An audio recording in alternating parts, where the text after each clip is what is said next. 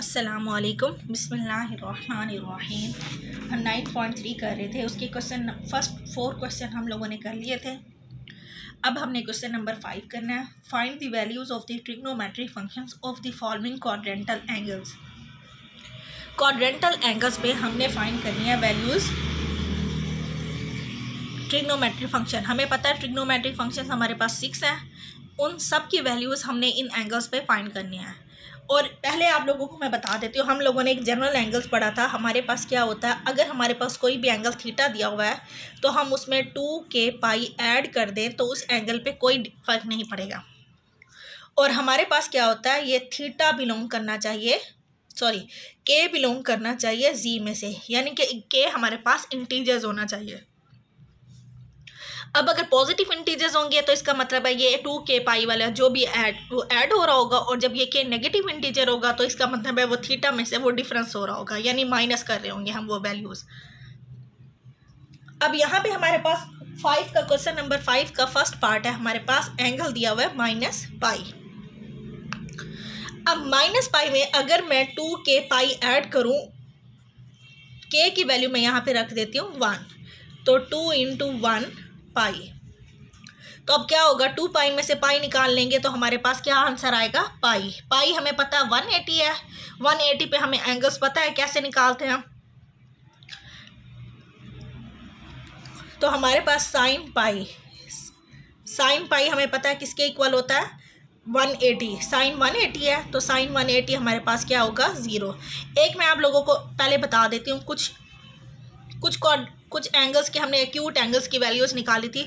यहाँ पे होता है ज़ीरो डिग्री यहाँ पे होता है पाई बाय टू यहाँ होता है पाई यहाँ होता है थ्री पाई बाय टू यहाँ होता है टू पाई इस पूरी लाइन पे कॉस हमारे पास ज़ीरो होता है। यानी जब हम कॉस पाई बाय टू भी निकालेंगे, वो भी ज़ीरो आएगा cos three pi by two भी आंसर ज़ीरो आएगा। इस पूरी लाइन पे हमारे पास साइन ज़ीरो होता है। साइन ज़ीरो पे भी ज़ीरो होगा, पाई पे भी ज़ीरो होगा, टू पाई पे भी ज़ीरो होगा, थ्री पाई पे भी ज़ीरो होगा, फोर पाई पे भी ज़ीरो होगा। यानी जब वैल्यूज़ यहाँ पे आ रही हैं, पाई के मल्टीपल्स पे आ रही हैं तो साइन वहाँ पे ज़ीरो बन रहा है। और जब वो पाई बाय टू के मल्ट ऑड मल्टीपल्स आ रहे हैं, यानी कि अब यहाँ पे कॉस पाई, यानी पाई बाय टू के ऑड मल्टीपल्स आएँगे। पाई बाय टू है, थ्री पाई बाय टू, फिर जब हम इधर रोटेट करके आएँगे तो ये हो जाएगा फाइव पाई बाय टू फिर यहाँ पे वापस आएँगे तो ये seven pi by two angles इस पूरी लाइन पे जब हम साइन की वैल्यू निकालते हैं सॉरी कॉस की वैल्यू निकालते हैं, वो ज़ीरो हो जाती हैं। ये हमारे पास होते हैं पाई बाय टू के ऑड मल्टीपल्स ये वाली लाइन पे जो एंगल्स बनते हैं, वो पाई बाय टू के ऑड मल्टीपल्स होते हैं। और यहाँ पे होते हैं पाई के मल्टीपल यानी ज़ीरो पाई फिर वन पाई टू पाई फिर यहाँ आएँगे तो थ्री पाई फिर यहाँ से रोटेट करते हुए यहाँ आएँगे तो फोर पाई और ये आप लोगों ने याद रखना, इस पूरी लाइन पे हमारे पास कॉज साइन ज़ीरो होगा, इस पूरी लाइन पे हमारे पास कॉज की वैल्यू ज़ीरो होती है। अब यहाँ पे हमारे पास पूरी लाइन पे कॉज हमारे पास ज़ीरो है, लेकिन जब ऊपर हम वैल्यू निकालेंगे तो साइन थीटा की वैल्यू हमारे पास जब इन एंगल्स पे निकलेगी, ऊपर वाली वैल्यूज़ पे, वो वन आएगा। और जब हम इन पे निकालेंगे तो साइन थीटा की वैल्यू क्या आएगी? माइनस वन और जब हम इन पे वैल्यू निकालेंगे कॉस ज़ीरो है या टू पाई है, यहाँ पे जो भी एंगल बनेगा, उस पर कॉस की वैल्यू वन आएगी और जो यहाँ पे एंगल्स बन रहे होंगे, जैसे थ्री पाई बनेगा फाइव पाई बनेगा तो कॉस थीटा यहाँ पे क्या होगा? माइनस वन होगा। तो ये वाली वैल्यूज़ आप लोगों ने याद रखनी है कि साइन जो है वो इस लाइन पे ज़ीरो होता है कॉस हमारे पास किस लाइन पे ज़ीरो होता है, इस लाइन पे ज़ीरो होता है। अब हमारे पास वैल्यू क्या थी? माइनस पाई हमने उसमें टू पाई ऐड कर दिया तो वो पाई बन गया। तो हमने पाई पे सारे ट्रिग्नोमेट्रिक फ़ंक्शंस की वैल्यूज़ निकालनी है। हमें क्या चाहिए? सिर्फ़ पाई साइन और कॉस की वैल्यू अगर हमारे पास आ जाती है तो हम सारे ट्रिग्नोमेट्रिक फ़ंक्शंस की वैल्यू फाइंड कर सकते हैं। तो साइन पाई मैंने आप लोगों को कहा, यहाँ पे पूरी लाइन पे साइन की वैल्यू ज़ीरो होगी। तो यहाँ पे साइन पाई इसी लाइन पे आ रहा है तो इसका मतलब साइन पाई क्या हो जाएगा? ज़ीरो कॉस पाई यहाँ जो एंगल्स हैं, उन पे कॉस की वैल्यू क्या आ रही है? माइनस वन और जो यहाँ पे वैल्यूज़ आ रही होंगी प्लस वन जब हमें ये दो ट्रिग्नोमेट्रिक फ़ंक्शंस फाइंड हो जाते हैं, तब हम सारे ट्रिग्नोमेट्रिक फ़ंक्शंस की वैल्यू फाइंड कर सकते हैं. साइन पाई ज़ीरो आया कॉस पाई क्या आया? माइनस वन अब टेन पाई क्या होगा? Sine pi over cos pi ये ज़ीरो है, और ये माइनस वन है तो आंसर क्या आएगा? ज़ीरो अब हम इनके रेसिप्रोकल्स की वैल्यू भी निकाल सकते हैं. को सीकेंड पाई हमारे पास क्या हो जाएगा? वन ओवर ज़ीरो तो ये आ रहा है अनडिफाइंड इसका रेसिप्रोकल है सीकेंड पाई सीकेंड पाई क्या हो जाएगा? One over minus one. तो आंसर क्या आएगा? माइनस वन कोट पाई हमारे पास क्या हो जाएगा? टेन पाई ज़ीरो है तो वन ओवर ज़ीरो हमारे पास अनडिफाइन आ जाएगा. तो ये हमने सिक्स ट्रिग्नोमेट्रिक फ़ंक्शंस की वैल्यूज़ फाइंड करनी है किस पे? पाई पे. अब नेक्स्ट हमारे पास है नेक्स्ट एंगल है हमारे पास माइनस थ्री पाई अब माइनस थ्री पाई है, इसमें हमने ऐसा एंगल लेना है, क्योंकि हमें या तो एक्यूट एंगल्स की वैल्यूज़ फाइन पता है, या हमें क्वाड्रेंटल एंगल जो यानी कि एक्स एक्सिस या वाई एक्सिस पे लाई करते हैं, उनकी वैल्यूज़ फाइंड होती हैं। जब भी हमें क्वाड्रेंटल एंगल्स देंगे, तब हमें सबसे ज़्यादा इम्पोर्टेंट क्या है कि यहाँ हमें साइन और कॉस दोनों की वैल्यूज़ पता होनी चाहिए। और उसका सबसे आसान तरीका ये है कि इस पूरी लाइन पर साइन ज़ीरो होता है अगर एंगल पॉजिटिव एक्स एक्सिस पे बन रहा है तो उस पर कॉस की वैल्यू वन आएगी। और अगर एंगल नेगेटिव एक्स एक्सिस पे बन रहा है, उस पर कॉस थीटा की वैल्यू माइनस वन होगी। इस पूरी लाइन पे कॉस की वैल्यू ज़ीरो होगी।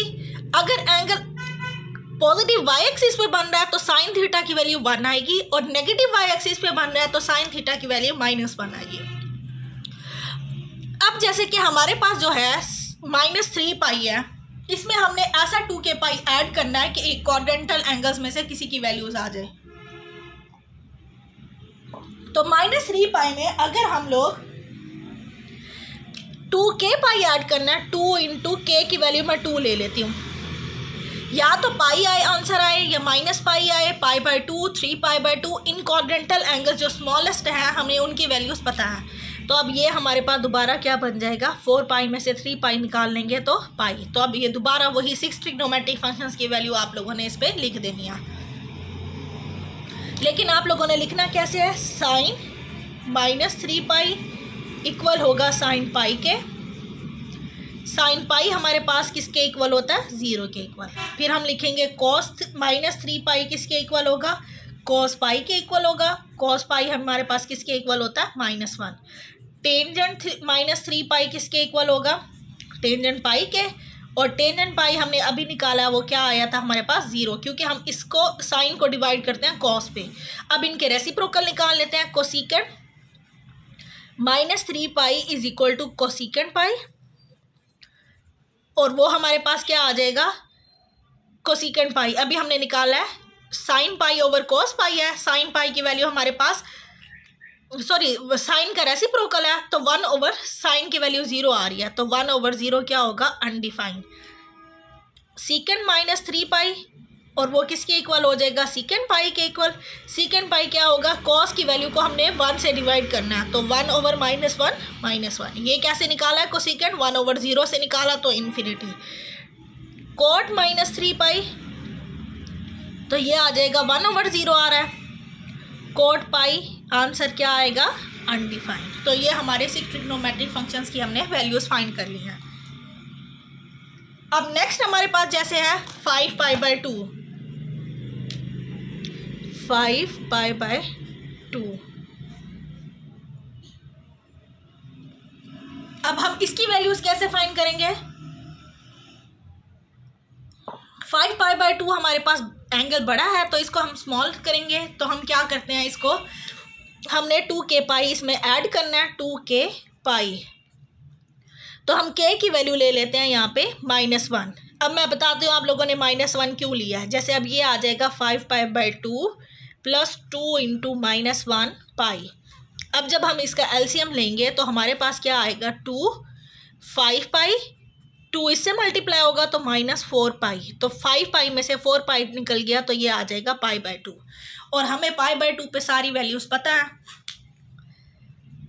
साइन पाई बाय टू अब पाई बाय टू इस लाइन पे आ रहा है, इस पे कॉज हमारे पास क्या होगा? ज़ीरो होगा. और pi by two positive x axis पे एंगल बन रहा है तो इसका मतलब है साइन की वैल्यू इस पर क्या आएगी? वन आएगी.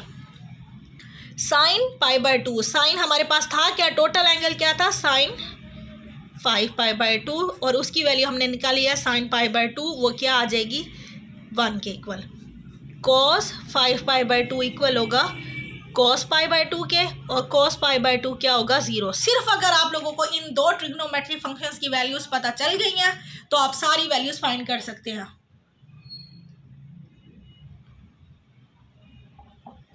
अब नेक्स्ट हमारे पास क्या होगा? Tangent pi by two tangent pi by two तो वो साइन ओवर कोज होता है। तो वन ओवर ज़ीरो हमारे पास क्या होता? है अनडिफाइंड अब इसी का रेसिप्रोकल अगर मैं निकालूं cos cot five pi by two cot pi by two हो जाएगा और वन ओवर इन्फिनिटी क्या होगा? ज़ीरो साइन का रेसिप्रोकल होता है cosecant cosecant five pi by two cosecant pi by two के इक्वल आएगा। अब साइन का साइन का रेसिप्रोकल है वन को वन से डिवाइड करेंगे तो आंसर फिर भी वन ही आएगा। अब इसका रेसिप्रोकल है secant secant five pi by two secant pi by two तो वन ओवर ज़ीरो क्या हो जाएगा? इन्फिनिटी क्योंकि हम इसका रेसिप्रोकल निकाल रहे हैं तो वन ओवर इन्फिनिटी क्या वन ओवर ज़ीरो क्या आ जाएगा? इन्फिनिटी तो ये हमारे पास हो गया। है अब नेक्स्ट हमारे पास क्वेश्चन है minus nine pi by two अब minus nine pi over two minus nine pi by two इसमें हमने एंगल को प्लस करना है तो ये आ रहा है minus nine pi by two हम यहाँ पे के की वैल्यू ले लेते हैं टू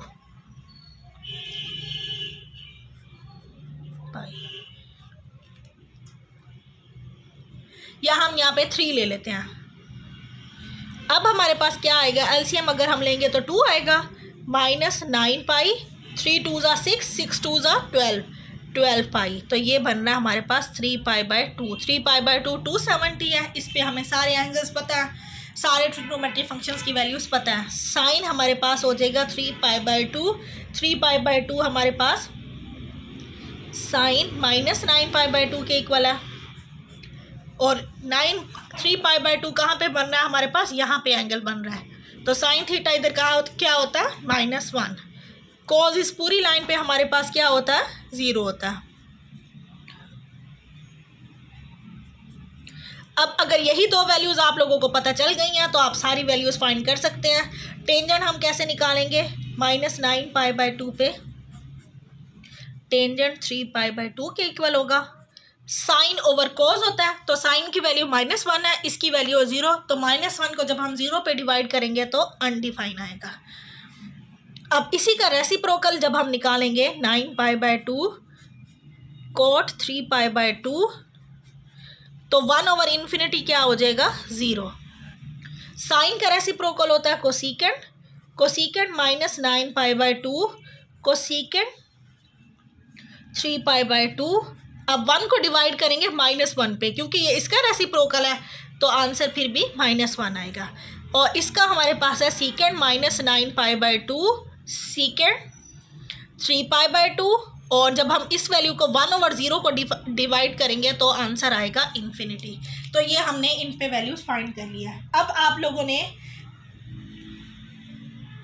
कुछ क्वेश्चन खुद करने हैं, और कुछ मैं नेक्स्ट लेक्चर में करवा दूँगी आप लोगों को।